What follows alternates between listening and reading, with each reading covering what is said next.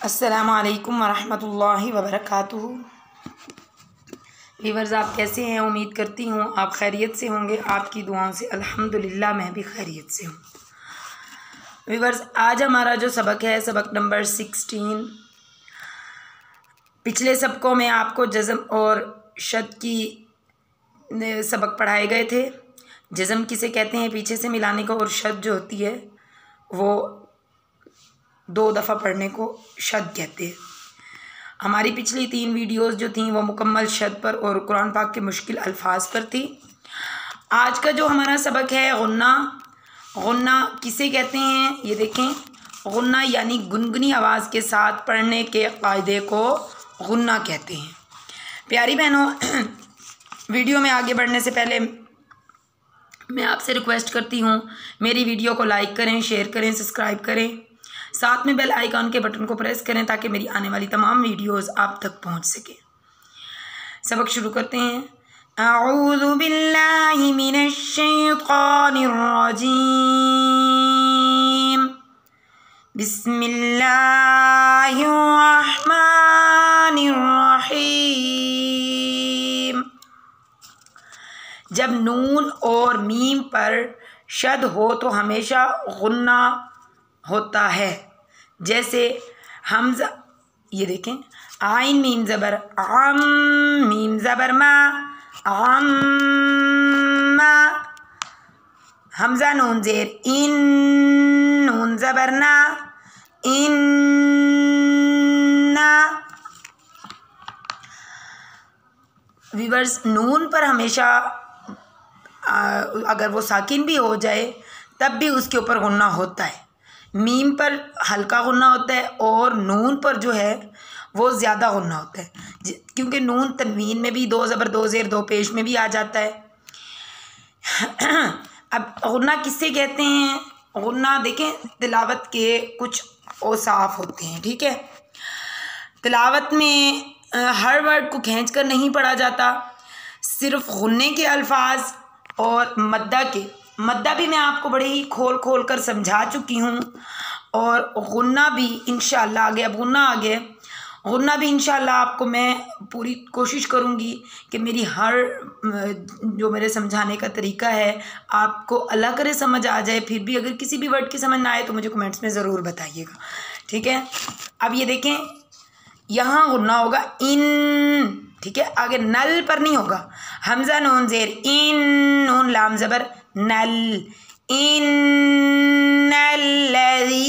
अब यहाँ देखें यह हरूफ मद है ठीक है तलावत में इन चीज़ों को खींचा अब देखें इन ना नून को खींचेंगे ना लाम को खींचेंगे ठीक है तलावत में आपने इन चीज़ों का बहुत ज़्यादा ख्याल रखना है यहाँ भी गुन्ना यहाँ भी खींचेंगे और ये हरूफ मद है ठीक है? इसको भी खींचेंगे। इन नून जल्दी अदा करना होगा, ठीक है? आगे आमतसालून खींचना हमने कहा है? इन दोनों के दरमियान। आमतसालून इसी तरह हमने ये वर्ड यहाँ अम्मा नहीं करना। ये अम्मा तसालून क्यों किया क्योंकि यहाँ वक्फ होता है, ठीक है? अगर आप मिलाकर पढ़ रहे हैं तो फिर अम्मा तसालून बहरहाल, वक्फ करते वक्त आपने न करना, ना ना, नी, नू नहीं करना। अब ये वर्ड है मीनल, यहाँ गुन्ना नहीं करना। क्योंकि नून आ, के ऊपर साकिन नहीं हो रहा लाम के ऊपर साकिन हो रहा है। मीनल यमी यहाँ होना होगा। ठीक है? यम यहाँ मुँह बंद करते वक्त मी पर नहीं होगा। मीनल यमी जल्दी। ठीक है? इसी तरह नेक्स्ट वर्ड ये वाला है। हमजा नून जेर इन नून अलिफ मद, ज़बर, ना। इन। अब यहाँ गुन्ना, फिर मद, ठीक है? इन्ना इलैना। इलई को जल्दी करना है, ना की मद करनी, ठीक है? ये वाला, अजलहुन। अब हमने ना क्यों नहीं किया? क्योंकि यह वक्फ की अलामत है। ठीक है? अजलहुन आपने दरमियान में यहाँ वक्फ करना होगा। आलन्नबिय ठीक है? अब इसका जोड़ मैं आपको पढ़ के सुनाती हूँ। आइन जबर, आ, लाम, नून जबर।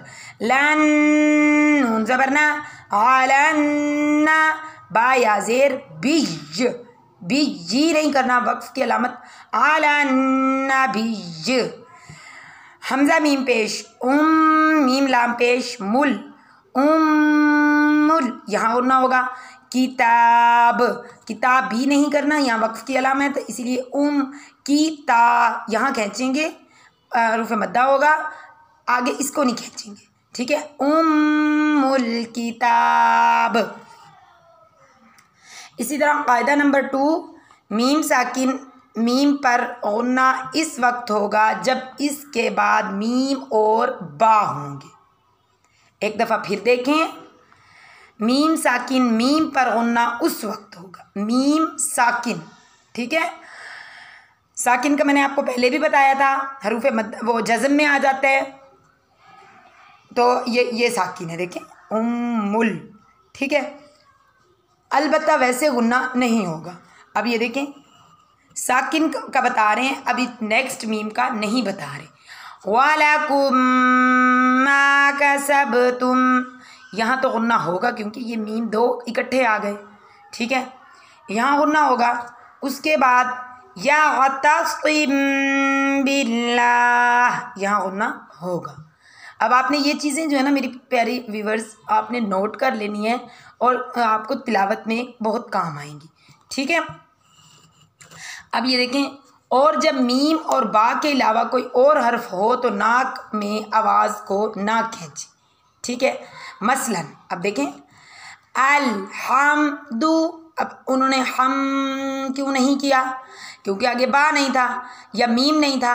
अल हम दू ठीक है? एक दफ़ा फिर आप नोट करें। मीम साकिन पर होना उस वक्त होगा जब उसके बाद मीम और बा होंगे। अब उन्होंने ये वाली मिसालें दी। ये मीम की और ये बा की, ठीक है? अब ये जो है, यहाँ नहीं है गुना अब ये देखें, लम लम नहीं किया, लम यालिद, ठीक है? क्योंकि आगे या आ गया। वालम यू लद यहाँ गुना नहीं होगा। वालम याकुल्लाहू, यहाँ भी गुना नहीं होगा, ठीक है? क्योंकि आगे लाम के साथ मिल गया। तो ये छोटे छोटे वर्ड हैं, आप कोशिश करेंगी और इन आपको बिल्कुल भी मुश्किल नहीं होगी। ठीक है? इसी तरह आप देखें, यहाँ है अब हैं मशक करें, यहाँ मैं आपको बताती जाऊँ, आम बिम यहाँ होना होगा क्योंकि बा आ गई, यहाँ मीम के ऊपर गुना होगा, आम मन खलकना। ठीक है? यहाँ रुफ़ मद्दा पर खींचना होगा, व तुम मुस्लिमून। यहाँ होना नहीं होगा, ठीक है? यहाँ होगा और यहाँ आलम आगे या आ गया। आलम या अब यहाँ होगा। अलैहिम बिमुस्तिर तिरी क्यों नहीं किया? यहाँ वक्त ठीक है? इसी तरह अलम नजअल्लहु यहाँ होना नहीं होगा क्योंकि नून आ गया। अम जागत, यहाँ होना नहीं होगा क्योंकि यहाँ जा आ गया। फदम दामा अलैहिम अब फदम दामा यहाँ तो खुन्ना होगा, यहाँ नहीं होगा। ठीक है? क्योंकि ये साकिन नहीं है। फदम दामा अलैहिम यहाँ खुन्ना नहीं होगा क्योंकि रो आ गया। रब्बुहुम यहाँ गुना होगा क्योंकि बा आ गया। फसवाहा